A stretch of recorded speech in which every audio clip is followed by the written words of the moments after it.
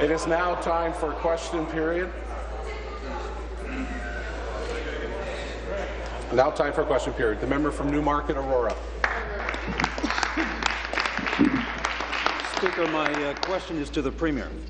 Speaker, on February the 19th, just a few weeks ago, here is what the Premier told Ontarians and this legislature through the Lieutenant Governor in her speech from the throne, and I'll quote, For the benefit of the entire province, your government intends to work with opposition parties in a spirit of renewed cooperation to get the people's business done. Speaker, we want to take the Premier up on that offer. And in that same spirit of cooperation, I'd like to ask the Premier, will she agree to strike a select committee of the legislature so that we can help the government find the additional $2 billion to pay for transit without burdening taxpayers and businesses of this province. Questions? Premier.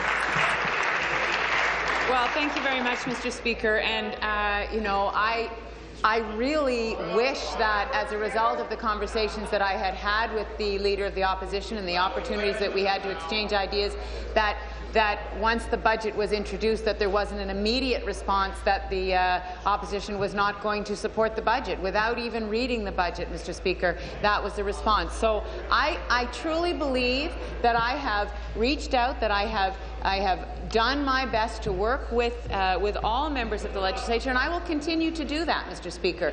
The reality is that for decades, there has been no commitment on the part of the provincial government to have a dedicated revenue stream to build transit. And the member opposite knows full well. Answer. He was a Minister of Transportation. There was no dedicated revenue stream for transit, Mr. Speaker. There needs to be, and Thank we're you. going to make that happen. Supplementary. Speaker, that's precisely why we're making the offer that we're, we're making. That spirit of renewed cooperation seems to have evaporated, or is it just in order to prop yourself up to stay in government? I want to, I want to read further from that throne speech, Speaker. Quote, your new government believes that complex times require thoughtful, collaborative solutions. We agree. And that's why we are asking the Premier to take our offer very seriously. Why will the Premier not agree to strike that select committee of all parties of this legislature so that we can get to work while she's having her conversations with finding that $2 billion in savings and waste right across this government so we can get on with the construction and dedicate $2 billion of revenue to transit in this province. Thank you very much, Mr. Speaker. So a few weeks ago, what the, uh, what the members opposite were asking us to do was to focus on implementing the Drummond Commission reports, Mr. Uh, Drummond Commission recommendations, Mr. Speaker, and do that transformation of government that was uh, laid out in, uh, in Don Drummond's report. We're doing that, Mr. Speaker, and the 60% of the recommendations are already in the works or have been implemented, Mr. Speaker. We continue to do the transformation of government. That is finding savings. That is constraining the cost. That is constraining our spending, Mr. Speaker. We're doing all that. And all of that is not going to deliver $2 billion a year to deal with the congestion issues in the GTHA. The member opposite knows that, Mr. Speaker. He's been a Minister of Transportation. Answer. He knows that that has not been a focus of the provincial government for decades. We need to make it a focus, Mr. Speaker, because people need to be able to get around the Thank you. GTHA to their homes and to their work. Member from Renfrew will come to order. Sup- final supplementary. Speaker, February 19th was not that long ago. I remember the ceremony here, and I remember the awesome commitment that this Premier made to cooperation. I want to read from the closing remarks of that throne speech. I quote, all parties and each member will be encouraged to contribute to this process to make their insights known. Your new government hopes that ideas will be put forward with optimism and purpose, and that voices will not be raised solely for the pursuit or retention of power. Your government is committed to finding a real creative solution to the issues we face. And then it goes on to say, Speaker, to do this, it will direct its efforts across the aisle. That's from your throne speech, Speaker. Speaker, I ask the Premier one more time. In all seriousness, I Question. ask, why will she not agree to the creative idea collaboratively to work with opposition parties, strike that select committee Thank you. so that we can get on with our work Thank you. and fund transit in this province. Premier. Thank you very much, Mr. Speaker. And, you know, I have appreciated the opportunity to meet with the Leader of the Opposition. We have had a number of very good conversations, Mr. Speaker, and there are some things that it would be great if we could find a way to cooperate on.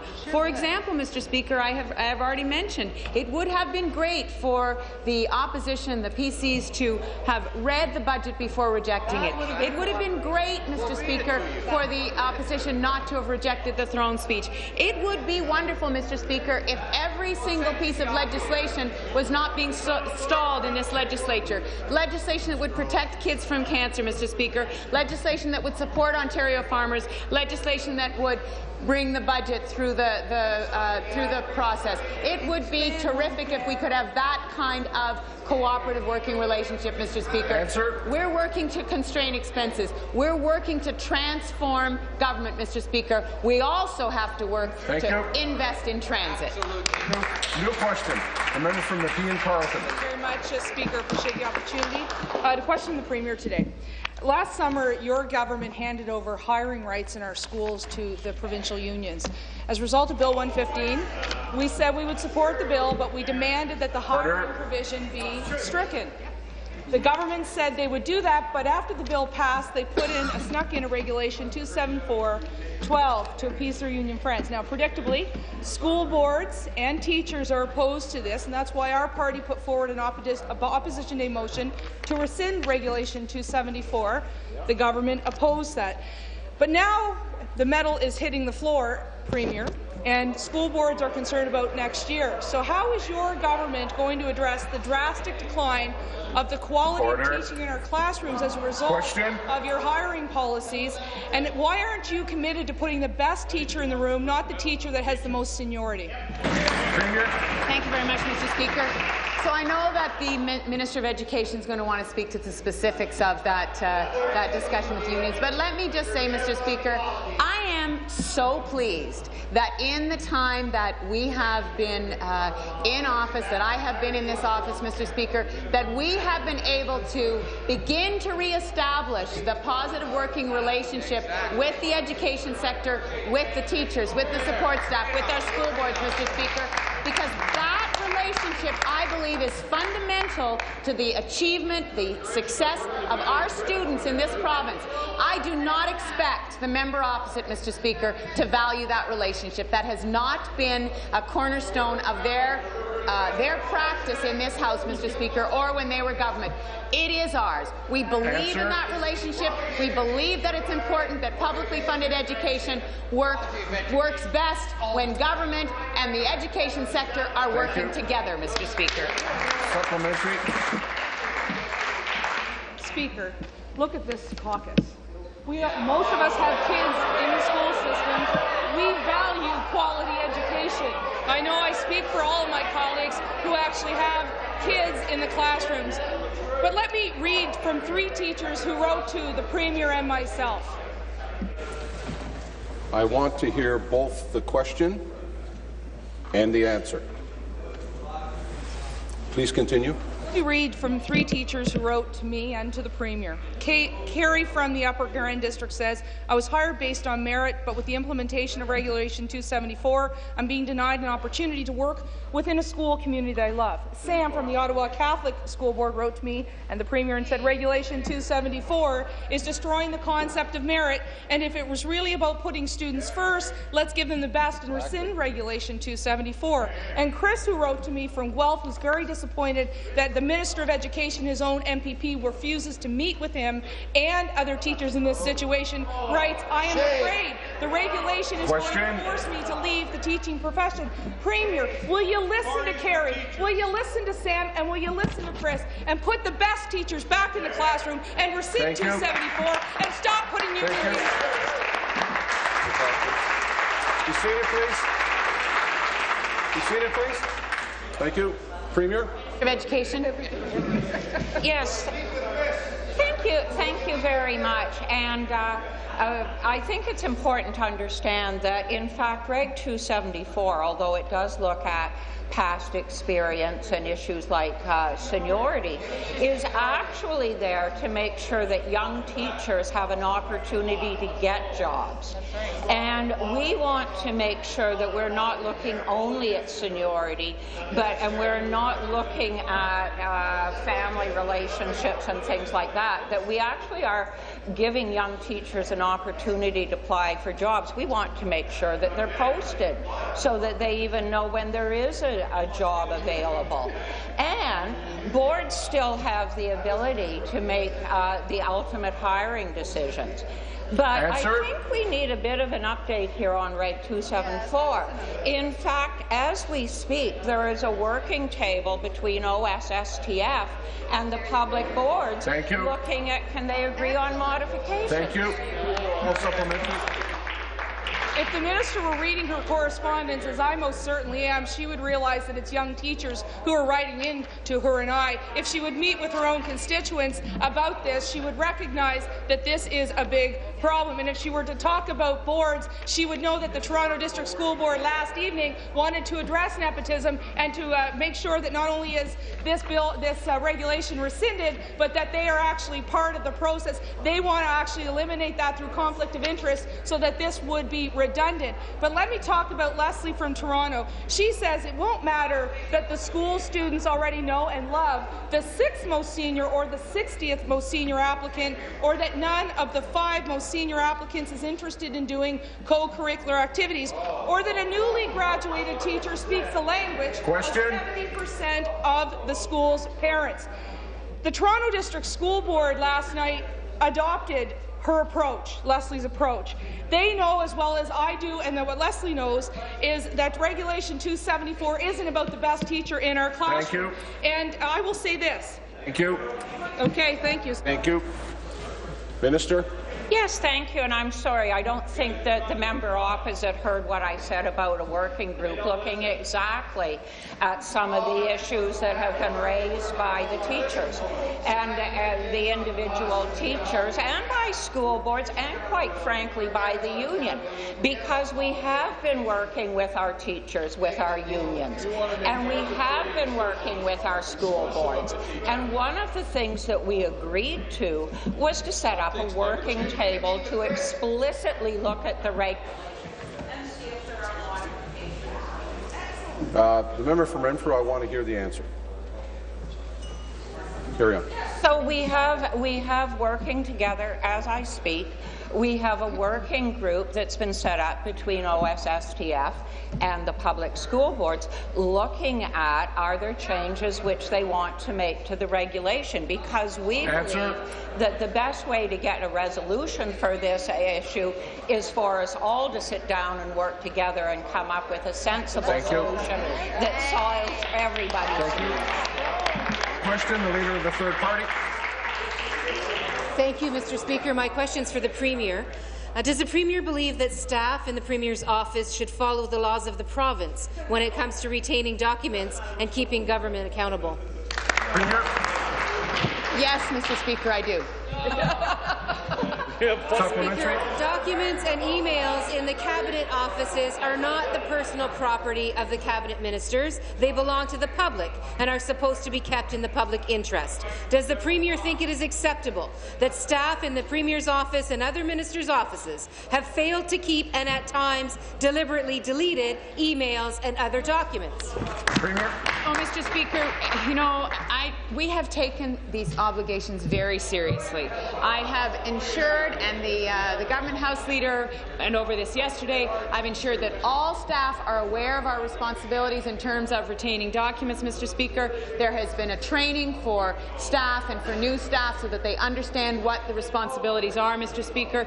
We have provided more than 130,000 documents of the nature that the, uh, the leader of the third party is, uh, is asking about. So So it is very important to me, Mr. Speaker, that we follow the rules, that we retain the documents that we are meant to retain, and that that applies to all staff, Mr. Speaker. Thank you. Final supplementary. Speaker, people are very worried today because they feel that governments that are supposed to be working for them seem more concerned about protecting their own political hides. They see it at City Hall in Toronto, they see it in Ottawa, and sadly, Speaker, they see it here day in and day out. Political staff in the government are supposed to follow the rules and not bury politically inconvenient details. How can Ontarians trust that this Premier won't allow this to happen in the future when the same abuses keep happening over and over and over again? Well, Mr. Speaker, as I said, I came into this office, I made it very clear that we were going to have an open, transparent process around all of the issues that we deal with, Mr. Speaker, but the issue of the relocation of the gas plants was obviously front and centre.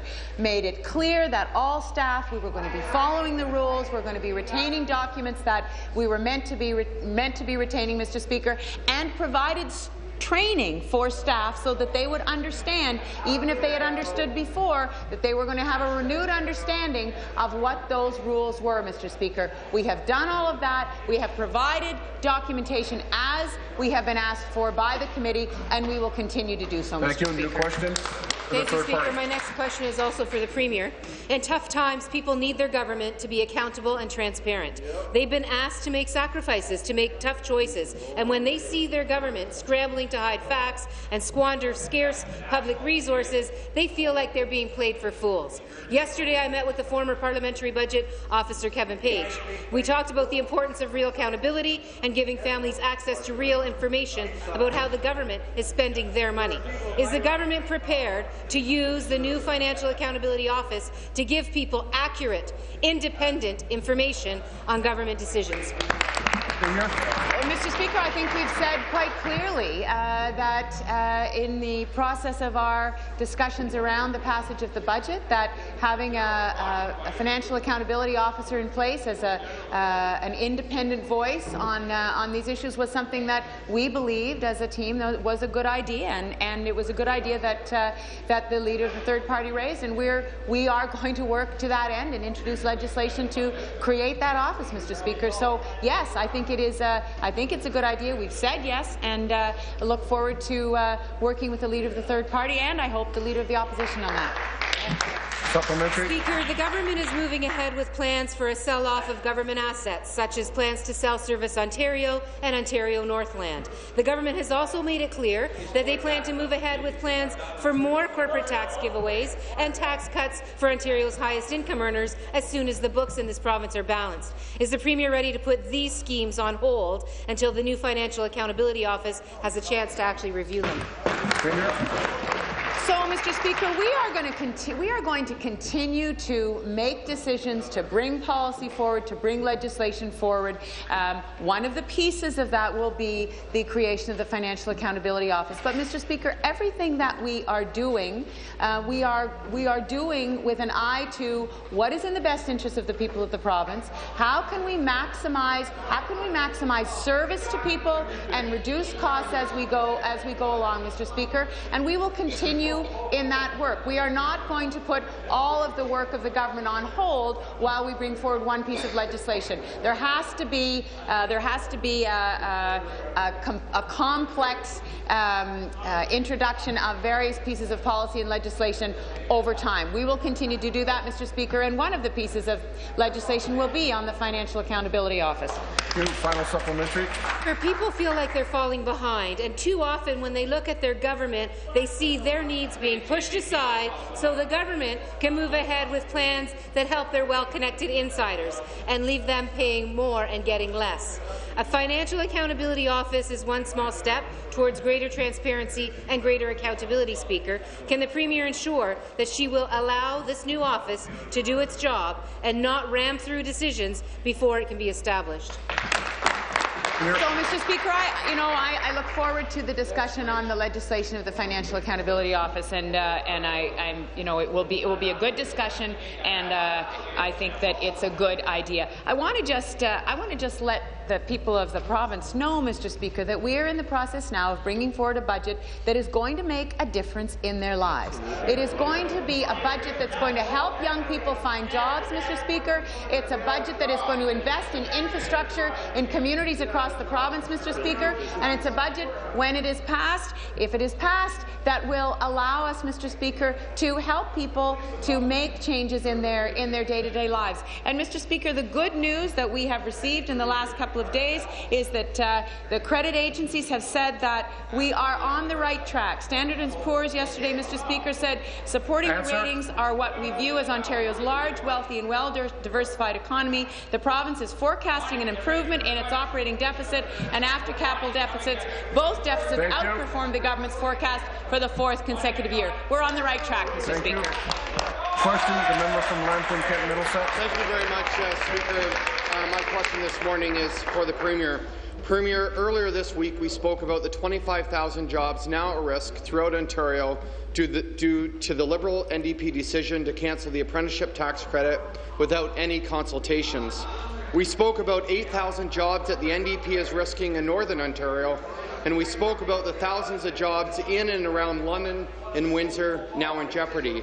In Brantford, an area that our Speaker knows well, this Liberal decision put, has put four call centres at risk. Uh -oh. Together, NCO, Wipro Technologies, Union Gas, and Extend Communications add over a thousand important jobs to Brantford and Brant County. Premier, you blew nearly $1 billion to cancel the gas plants in Mississauga and Oakville. Are you so desperate for revenue that you are willing to risk Question? a thousand good jobs in Brantford? Whoa! Development, Trade and Employment. Minister of Economic Development, Training and Employment. Thank you, uh, Mr. Speaker. Mr. Speaker, I'm proud of this government's record over the last several years of creating more than 400,000 jobs in this province.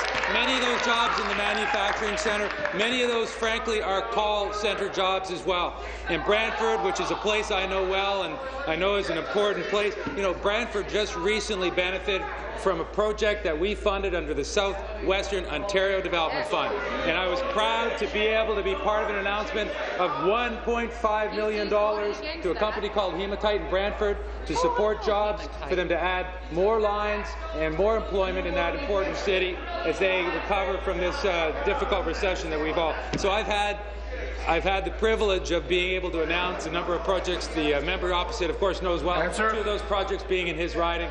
The Southwestern Ontario Development Fund is making a big difference in impacting precisely the way the uh, member opposite would like. Thank you. Supplementary. Thank you, Speaker. Uh, back to the Premier. Earlier this week, I received an important letter from the Mayor of Chatham-Kent Randy Hope addressed to Minister Duguid. Mayor Hope expressed concerns as a result of the proposed changes to the apprenticeship tax credit and the thousands of jobs at risk in Chatham-Kent and across this They're province. Scared. The letter outlines the case of Minacs, one of Ontario's largest co uh, contact centres, who wished to continue its expansion into Ontario but is now being forced to look at U.S. locations, oh. putting 3,400 current jobs at risk. Mayor Hope's letter outlines a simple and easily implemented solution to your problem. Premier, are you going to listen to the mayor and reverse your decision to kill the apprenticeship tax credit, or will you continue to risk up to 25,000 good-paying jobs throughout this province? Minister. Well, of course, we're always, uh, we respect the opinion of Mayor Randy Hope of Chatham-Kent. He's, uh, particularly when it comes to his views on the Southwestern Ontario Development Fund. He was instrumental in providing his support to ensure that not only the program existed, despite the fact that the official opposition voted against the Southwestern Ontario Development Fund and put measures in place to even to, to even to delay its passage in the legislature and delay these funds getting to the good people of Southwestern Ontario. So the mayor, the mayor mayor, who's- who I've met personally as well and spoken to him on this and other issues, uh, his, his, his recommendations are always welcome on this side of the legislature. And I have to say that, you know, in terms of call centres as well, and Barrie, I, I was very proud to hear not that long ago a $20 million annual investment by HES in Barrie. The mayor there, Answer. incidentally, was also very happy because that's creating 500 new jobs in Barrie in call centres. Thank you. New question, member from Toronto Danforth. Thank you, Speaker. My question to the Premier. When the government established the Green Energy Act, it promised that green energy technology in Ontario would be built in Ontario and create jobs in Ontario.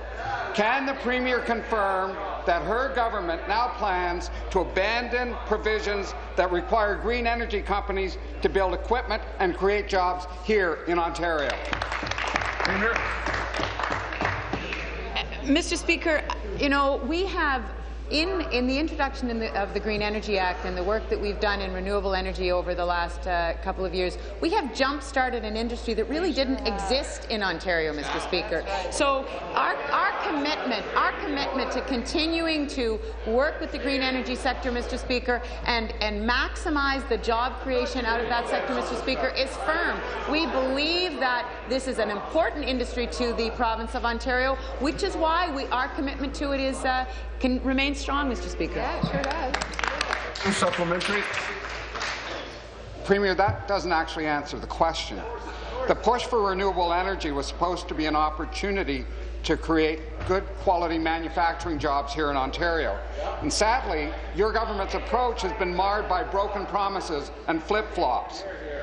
Now it looks like you're giving up on good jobs, good manufacturing jobs here in Ontario. Provinces like Quebec and countries around the world have been able to ramp up renewable power and ensure that manufacturing happens locally to create local jobs. Their programs haven't been scrapped by the WTO. Will this government finally admit that it has made a complete and utter mess and look to other provinces to ensure that we keep manufacturing jobs here in Ontario? Premier. No, Mr. Speaker, I won't admit that because we've created 31,000 jobs in Ontario, Mr. Speaker. So we've built, we built enough clean energy to power 900,000 homes, Mr. Speaker. I really would have thought that the member opposite would have been supportive of that initiative, Mr. Speaker, that the member opposite would have thought that that was a very good thing. What we have announced today, and um, the Minister of Energy is speaking about it today, Mr. Speaker, is that we believe that the process whereby some of the uh, green energy infrastructure has been sited needs to be modified. It's one of the things that, as when I became the leader of the of the party, Mr. Speaker, and the Premier, I said we were going to deal with uh, a better process going forward for municipalities to have a stronger voice. That's what we have announced, Mr. Speaker. That's what the Minister of Energy has been working on. So we recognize that programs need to be modified and that processes need to change, but they need to change based on the evidence of good Thank you. successes and the gaps that we have discovered, Mr. Thank Speaker. you. New question, the member from Eglinton Lawrence. Mr. Speaker, I have a question for the Minister of Education. Ah. In our schools, we have some of the best teachers, we have some of the best students working hard, and our parents are doing their best to ensure that our schools remain the best, along with our teachers. But one of the concrete issues that parents have come to me about over the last while especially is about the safety of their children. They are worried about how safe our schools are. They're worried about their kids coming to school safely and going home safely. They really get upset when they hear there's a lockdown in one of our schools. So the question I want to pose to you, Minister, is Question. as this education system delivers great education, what are we doing in a concrete way as a government to work with Thank school you. boards to make sure our kids are safe Thank you. school? Minister of Education. Uh, thank you, Speaker, and thank you to the member from Eglinton Lawrence, who is always an advocate for the schools and the parents and the kids in his riding. Our government knows, Speaker, that in order for our students to learn well, they need to learn in a safe and accepting school environment. Since 2003, we've invested over $360 million in safe schools and equity and inclusive education initiatives. We actually recently reopened the Safe Welcome program with an additional investment of $10 million to give school staff more control over who enters the schools so that we can keep our kids safe once they're inside the school. And through working with organizations like the Ontario Association of Chiefs of Police and the Committee of Youth Officers of Answer. Ontario, we've developed safety protocols. Elementary and secondary schools are required to work with local police on safety protocols, on lockdown protocols, to make sure we keep our kids safe. Thank you. Supplementary. Thank you, thank you, Minister. And you know, the, the principals, the parents, uh, the students are telling me very directly one of the things that we've done with the school boards that really makes our schools safe is our police officers in the school. That is being very well received, and it is working to prevent crime uh, from coming anywhere near our schools. The other thing that's very apparent is in some neighborhoods there are very few issues about safety, but in other neighborhoods in my riding of Eglinton Lawrence, there are some serious risks, and these are in our vulnerable, at-risk neighborhoods where I know it's hard to believe in some situations, but some kids are basically afraid to go to school. They may, they may get shot going to school or shot on the way home from school. So this is a very, Question? very traumatic concern for our parents, our principals, and our students. So I want to know what are we doing to ensure that in these at-risk neighborhoods, which are real and very, very challenged, what are we doing extra to protect the kids in those schools? Thank you. Thank you uh, to the member, and thank you, Speaker. Uh, I, too, would like to thank the local police and the uh, school boards who've worked together to uh, provide school officer programs. They certainly have an impact. But with respect to demographic issues, we actually have something called the Learning Opportunities Grant, which is targeted at school boards which have a higher than usual number of low-income neighbourhoods in their communities. That's actually almost half a billion dollars a year that goes specifically to the uh, learning opportunity grants to support kids. Our government also provides 10 million annually to specific high-need schools in urban areas that face challenges like poverty and crime. We're also working to provide children in low income uh, with learning, summer learning opportunities. If we can get this budget passed, Speaker, we have an additional $12 million targeted at, uh, at summer learning camps in high-risk neighbourhoods. Thank you. New question. Member from Nipissing. Thank you, Speaker, and good morning. Speaker, my question this morning is for the Premier. Premier, a few minutes ago you spoke about uh, a new, open and transparent style of governing. In fact, you mentioned the fact. Thank you for your new style of open and transparent speaking. Uh, you mentioned that your staff and your government has been given training with respect to the uh, gas plant scandal documents. My one question, Speaker, is uh, does that training include using Gmail accounts for your staff to hide the information from the Freedom of Information wow. officer? Wow.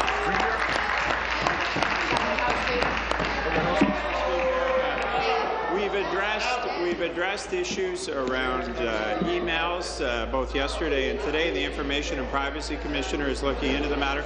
I would also remind the member that we've had 130,000 documents. That's an estimate of the number of pages that we've given the committee. But what's interesting, Mr. Speaker, is the way that the honourable member keeps, keeps trying to escape from the simple fact, and you know it, it's still there, Mr. Speaker. They oppose the very gas plants, and again, Mr. Speaker. Speaker, we ask what their estimate is. We also ask when they did their estimate whether they added the extra 85,000 that they're paying because of the robocalls that they had to promote the fact that they were opposed to the gas plant and they were the only ones who would cancel it according to their very own robocall. Answer. Thank you. Supplementary. Unbelievable. Thank you uh, very much, Speaker. Unfortunately, uh, I didn't get an answer to my question about whether the training included uh, using secret Gmail accounts for the Premier's staff.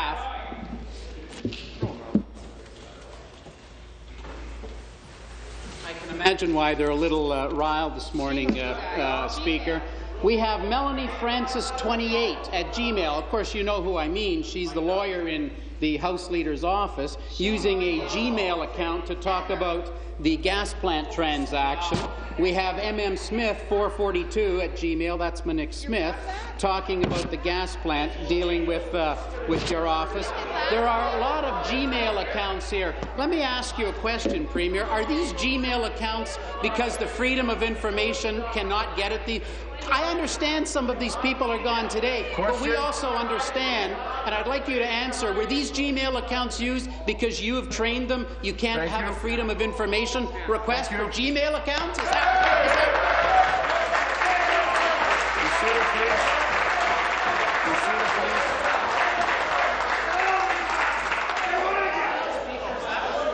Be seated, please.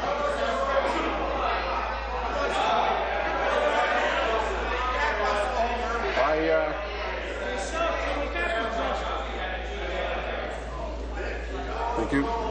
The member from Renfrew, are you okay? Just check.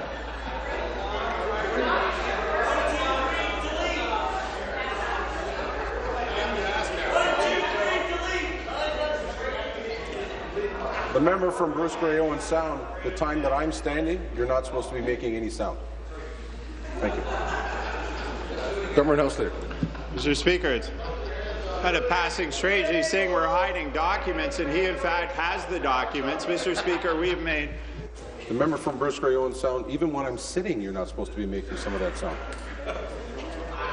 Thank you. Mr. Speaker, we have made every effort to provide the committee with documents. In fact, the Premier, when she assumed office, offered to have a government-wide search for relevant documents, and the opposition turned it down.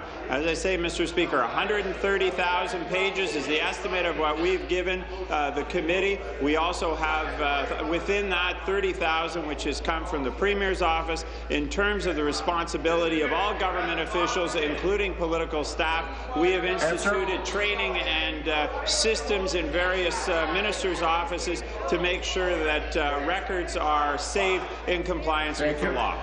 Good new question. The member from London Fanshawe. Thank you, Speaker. My question is to the Minister of Community Safety and Correctional Services. The minister yesterday made promises to EMDC workers that she would do something about the conditions at Elgin Middlesex Detention Centre. But the minister has made many promises and conditions have only deteriorated in London and at jails across the province. Can the minister explain why this time we should believe that she is serious and will take and will finally take the necessary actions? Thank you, Minister of Community Safety and Correctional Services. Thank you, Mr. Uh, Speaker, and I want to thank uh, the member from uh, London uh, Elgin Middlesex? No, oh, London, Fanshawe. Fanshawe. For our question, yes, indeed. Yesterday, I had a, a great meeting with the uh, the leadership of the OPSEU with regard to EMDC. As you know, the health and safety of the correctional officer, the inmate at EMDC is my number one priority. So we've discussed what uh, uh, the 12-point plan, what should be, what should be the first thing that we uh, that is burning that we can do as soon as possible. We had a great dialogue. We uh, agree uh, on what we're going to do from now to the end of June. Answer. And then we'll uh, move forward with the rest of the improvement in the correct this Very detention important. center. Thank you, Mr. Speaker. Thank you. Supplementary. Thank you. Speaker, the minister has talked about creating a board to oversee EMDC and outright dismissed my suggestion to include correctional officers on the board. And without this representation, we know that this board will be nothing more than a PR exercise. It will be destined to fail. Years of promises did not fix the problems at EMDC, and a weak board will not either. It's clear that this minister is unable to do her job, and the lives of workers and inmates are on the line. Will the minister resign so her government can take action to resolve the problems at EMDC immediately?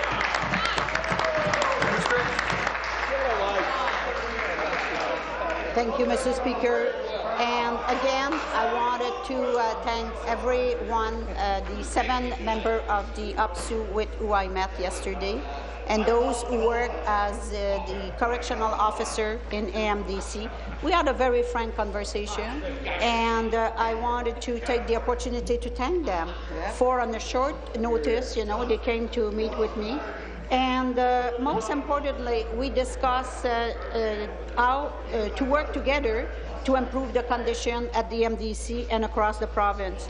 The president of OPSEU was happy with uh, the meeting and said, and I'm quote, I'm glad that Minister Meilleur is giving correctional officer the attention they deserve. If we can continue on this path, Answer. it will lead to much needed improvement and will ultimately save lives. Thank you, Mr. Speaker. Thank you. Question. The, uh, the member from Scarborough Agincourt. Thank you, Mr. Speaker. My question is for the Minister responsible for seniors. Mr. Speaker, Ontario has the most diverse seniors population in Canada.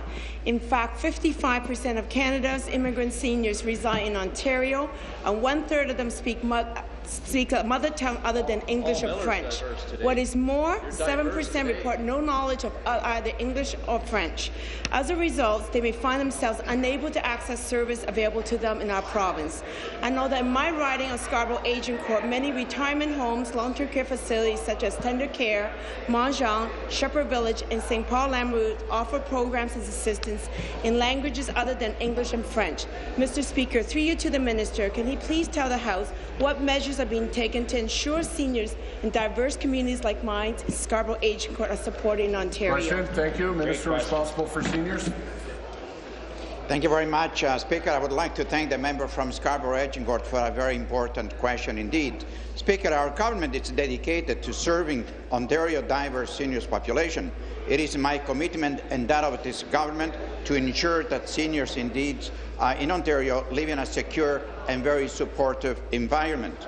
We are working hard to collaborate with our partners across government to develop and support uh, uh, culturally appropriate services and resources which cater to the various languages spoken to Ontario seniors and by Ontario seniors. And some of these services include Speaker, multicultural seniors fairs, seniors active living fairs held throughout the province, including Northern Ontario communities, presentation by the Ontario Senior Secretariat with a range of Uh, multicultural seniors organizations, and also, Speaker, Answer. a guide to program and services for seniors in five different languages. Speaker, we do this and we'll continue to do more on behalf of our seniors.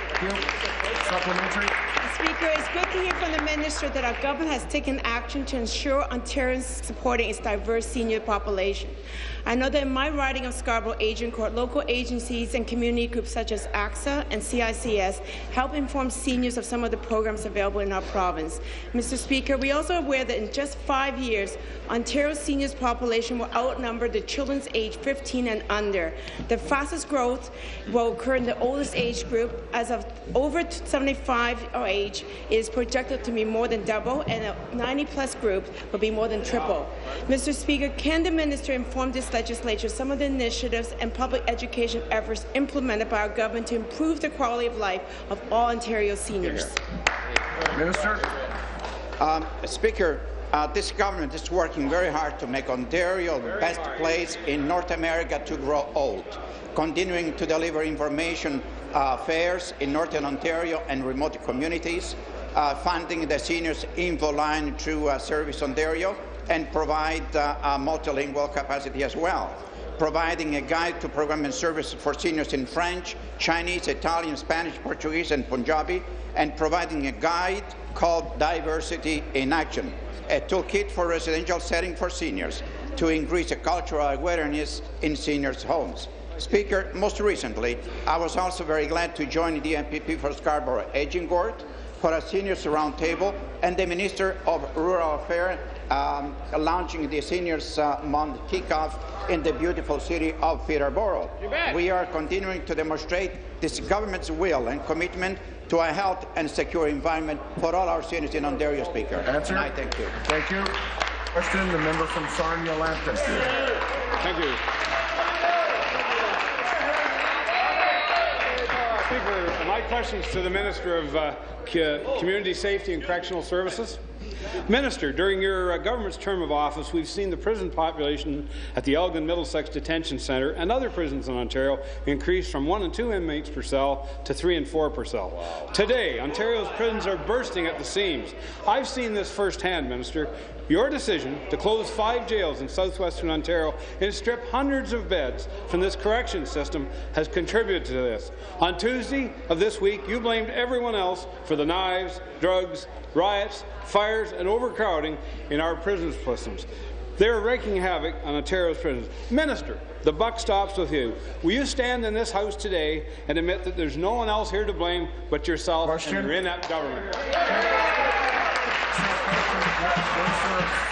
Community Safety and Services. You know, Mr. Speaker, I'm very, very confused here. You know, this question coming from a party who closed 19, 19 uh, jail in Ontario and did away with almost every rehabilitation program.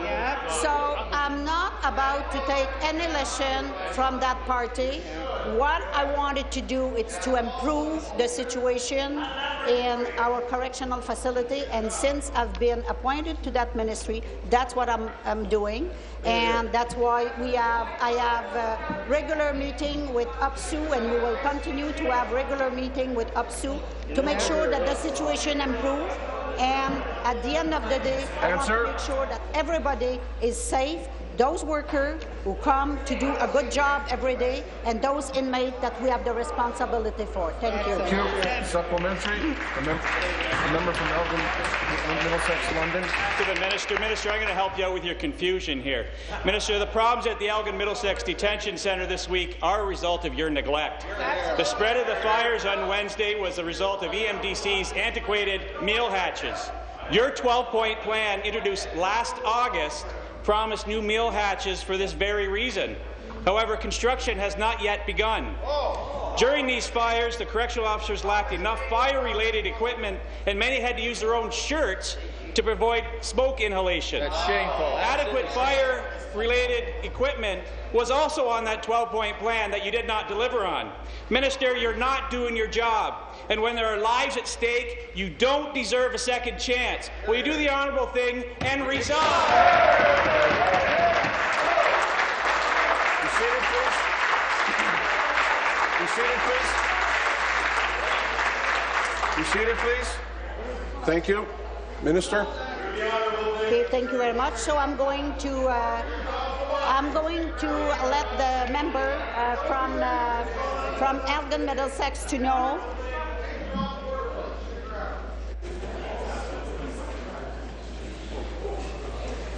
Minister. Let me say to the member what we have done so far. We have hired 11 new full-time correctional officers. Yeah. We have now 24-hour nursing that was implemented. We added a mental health nurses. We hired three more operational uh, managers. Yep. We are uh, building a new control model, uh, mod module for staff. We have superintendent and deputy uh, tour many times a week. We have operation manager that what they should do is to a tour every day, and that's what they are doing now. we have a capacity. Uh, the capacity is monitored every day, and uh, so again, you know, uh, the previous uh, government closed 19 jail, slash funding, and got it all rehab program. I'm going to ask the member from Halton to uh, come to order and the member from Prince Edward Hastings to come to order. And if you would mind going to his seat so I can tell him the same thing, just in case he doesn't get it. So the, what they have done, they have adopted a failed American warehousing approach, and that's what we're trying to correct. And uh, your party's decision have led to the majority of the challenges that we are facing today. Thank you. Thank you very much. The uh, member from Nepean Carleton will come to order as well. New question. The member from Kenora Rainy River. Thank you, Speaker. to the Minister of, the, of Infrastructure, the Mary Berglund Community Health Centre in Ignace is one of the top healthcare facilities in the north, with people from across the region travelling to the CHC to access its services. In 2010, through the Ontario Realty Corporation, this government more than doubled its rent. Oh. Putting their long-term viability at risk. After much pressure, the Northwest LHIN agreed to provide the Mary Berglund CHC with a temporary and partial funding increase to 2015, after which time the CHC will be forced to further cut staff and services or close its doors. My question is simple. Is the Ministry of Infrastructure so short on cash that it has to pillage other departments to pay its bills? No, sir. Thank you. Uh, l- l- let's be clear here, Mr. Speaker. Um, the Mary Berglund uh, Community Health Centre is paying $5 a square foot rent. I would hardly describe that as an onerous level of rent. I, I don't know if anyone in this House knows of an organization that pays $5 per square foot rent. Outside there, it's 30 or 40, and in most small towns in Peterborough, you pay a lot more. As a matter of fact, what we can determine is that the going rate for rent right now is $12 a square foot. So by any measure, Mary Berglund has a very good deal. We have been working right now because the policy of the government, so that we don't artificially subsidize through the back door, is to have a market rent, which would in this case normally be 10 or 12 dollars. But there is a default position for some centres, which has been in place for about 15 years, which is to, to go to a standard 5%, $5 a square foot rent. We're working on other solutions, but right now I don't think the challenge is the rent they're paying. Thank you. Supplementary. Minister, this situation is not acceptable. Your department is working with facts and figures that are way out of line with a community of Ignace's size and northern location. Other comparable CHCs in the north that occupy similar spaces pay $60,000 rent, while Mary Berglund CHC is forced to pay $200,000 a year. Something is not right. They do not have 40,000 square feet. They have 1,700. They are not paying $5 a square foot, let me tell you. Minister, I urge you to fix this problem by either lowering the rent to a more reasonable amount or selling the building to the CHC for a nominal amount. We need action now to avoid another healthcare crisis in northwestern Ontario. Minister, what are you willing to do to ensure that your department fixes this situation? Thank you. Minister. That, that being said, Mr. Speaker, I, I do agree with the member's point. She's absolutely right. Uh, we have to reconcile to get a rent, and I, from what I understand, and I, I am working with you on this, and we're on the same page on it. The volume of space that I understand Mary Berglund has is part of the problem. They're in a building that has a lot of challenges with it, and that. So we're what can we do about this? Well, the local LHIN, Infrastructure Ontario, is working with the Health Ministry to try and reconcile the rent and the payment system right now, because we can't, they can't afford it. We're also looking at the amount of room, which I am told, and I will be going up there as soon as the House rises, personally to visit the site, and I would be happy to tour it with you, to try and look at if we can reduce the amount or find other ways to reduce the amount of space so that the storage or surplus space they don't need, they don't have to pay for. So we're very committed to working with you on a solution, but the point that the rent is very high, until someone shows me other evidence, doesn't look, it looks like it's about half what the going rate is. Thank you. New question. The member from Ajax Pickering. Thank you, Mr. Speaker. My question is for the Attorney General. Currently, on-site winery retail store open on Labor Day, Canada Day, Thanksgiving, Victoria Day, and Family Days in areas where there is a tourist exemption bylaw as implemented by the local municipality. However, there are still many statutory holidays when winery retail stores cannot open for business and take advantage of opportunities to sell our fine Ontario wine on some of their busiest days. I know that the Alcohol and Gaming Commission, an agency that reports to you, the Minister of the Attorney General, administers a variety of authorization policies for liquor manufacturer stores. Mr. Speaker, Could the Attorney General please tell us what recent progress has been made to further improve the conditions that encourage the success of small businesses that serve tourists across Ontario, particularly in those rural communities? Thank you. Attorney General. Thank you, Speaker. And I want to thank the member from Ajax Pickering for that excellent, excellent question. We all know that wineries, breweries and distilleries form an important part of Ontario's economy, and the culture of Ontario wines and beers have become world famous and renowned over the last number of years.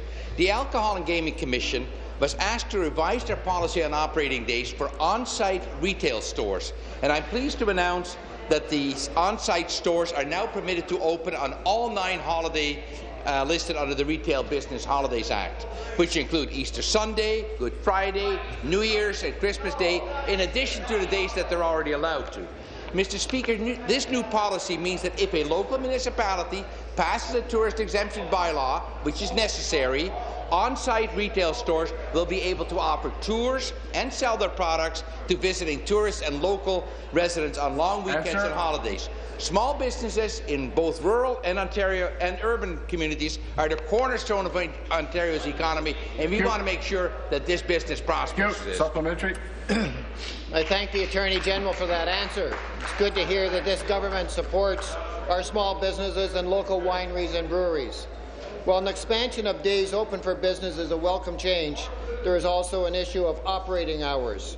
Currently, on-site retail stores selling alcohol on Sundays are limited to operating hours between 11 a.m. and 6 p.m.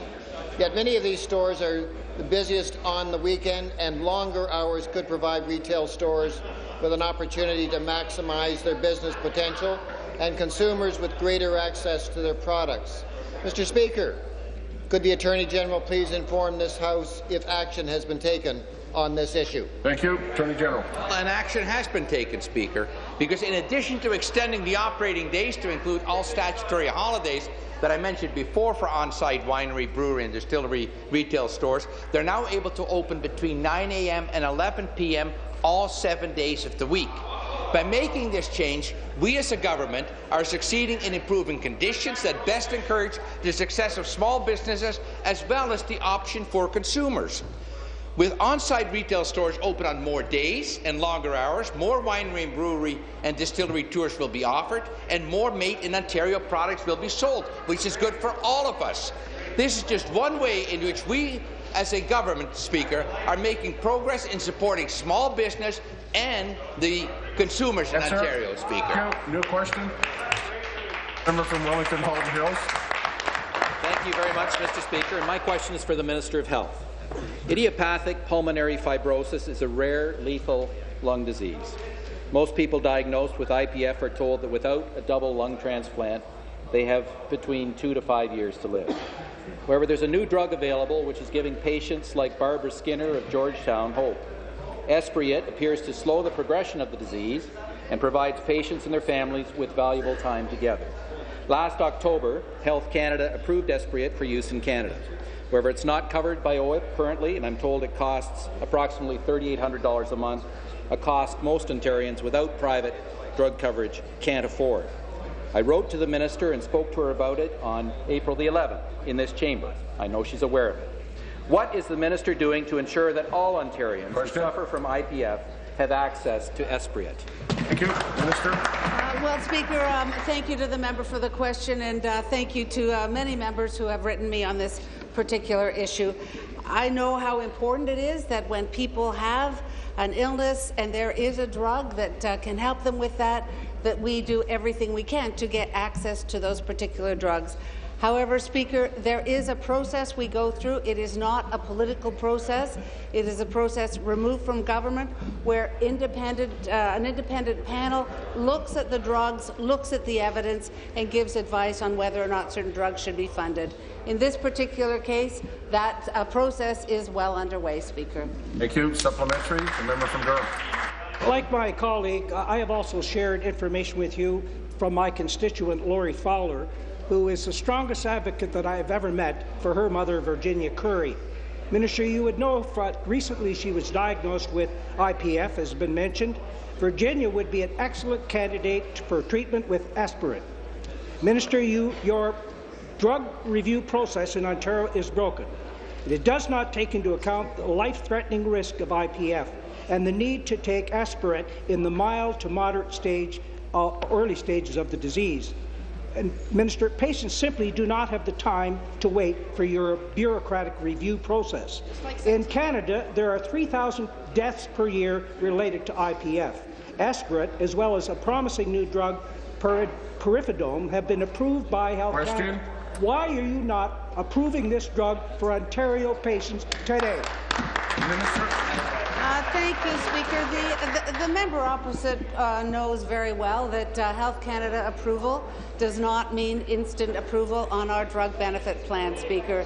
Uh, we do have a process uh, that I have written to, uh, to these members and others to confirm that this is a drug, that these, both of these drugs are being reviewed by the independent panel.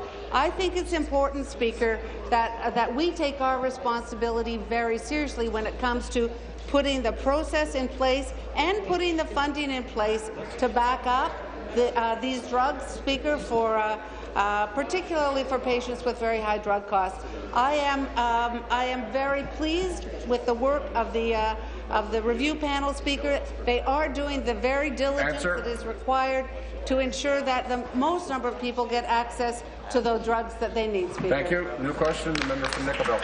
Ma question pour la première ministre. Sudbury Down, the racetrack in my riding of Nickel Belt, will be racing for the first time this season at 1.30 on Sunday. Should have been a happy day, Mr. Speaker, but they cannot fill their race cards because in part of the limited purse. Yet, they have $2.5 million in their purse pool. Can the Premier guarantee that this money, which was collected in the North, will stay in the North? Minister of Rural Affairs. Minister of Rural Affairs. Well, Mr. Speaker, first of all, it's great news that they're back uh, racing at Sudbury Downs. They're also racing at Kawartha Downs, Dresden, Flamborough Downs, Woodbine, Mohawk, Hanover, Rideau Carleton, Sudbury Downs, and Western Fair. And we want to we want to thank we want to thank uh, the panel, the Honourable John Snobelen, the Honourable Albert Buchanan, the Honourable John Wilkinson, that are doing an incredible job in restructuring the race industry in the province of Ontario.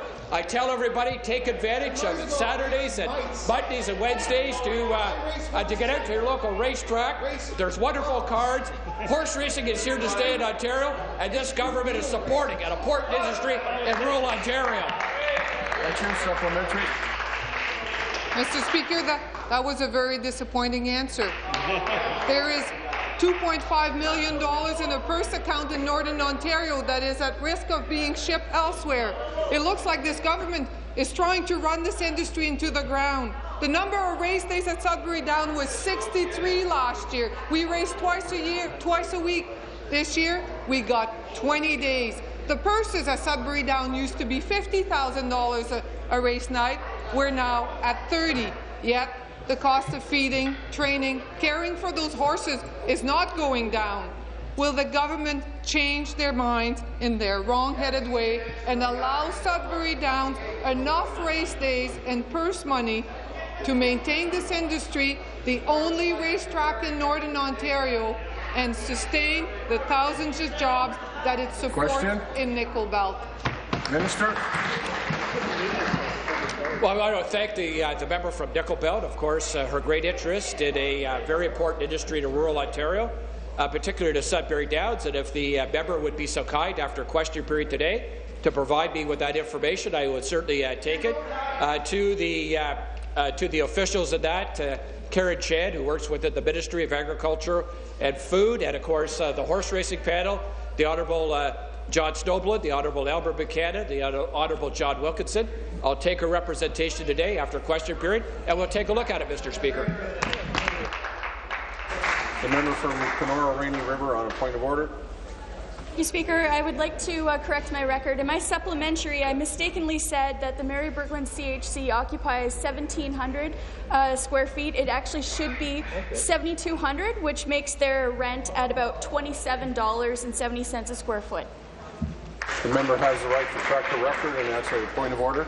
Uh, point of order from the Premier. Thank you very much, Mr. Speaker. I just want to remind everyone and encourage them to come out to the uh, farmers market on the uh, the lawn of Queen's Park and enjoy some great Ontario food. Speaking, speaking of the farmers market, my other other brother is here in the speakers gallery, and that is the former Speaker of the House, Steve Peters, is here.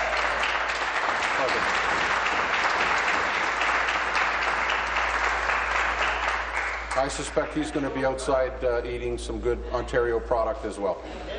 There are no deferred votes. This House stands recessed until 1 p.m. this afternoon.